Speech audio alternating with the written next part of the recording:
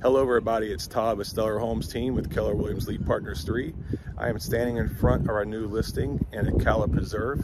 This is a 2022 home with over 2,000 square foot. Uh, I'll have all the specs and information throughout the video.